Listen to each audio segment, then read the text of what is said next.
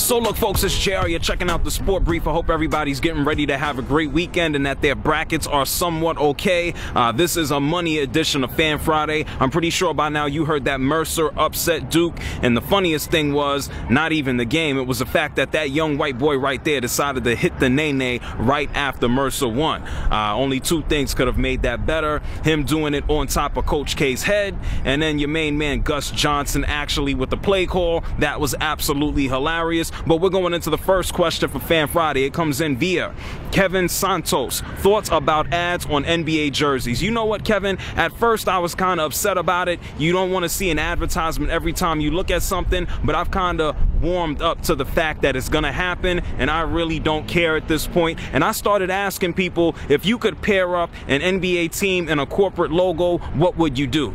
And one of the first things people told me was uh, I would put, or they would put Rogaine on the Miami Heat jerseys for LeBron James. Somebody said they would put like Krispy Kreme across the top for the New York Knicks. Your main man Raymond Felton, he's kind of hefty, but I don't care. It's all about the dollars. Maybe I'll put a JR Sport Brief logo on the Knicks jersey. I don't know how much they would charge me for that, but that will probably be coming down the pipe in the next few years. And do that. Make sure you go and watch those videos. This is JR. You're checking out the Sport Brief. Have a great weekend. Your bracket is busted, and you probably aren't going to win any money. I'll talk to y'all later. Peace.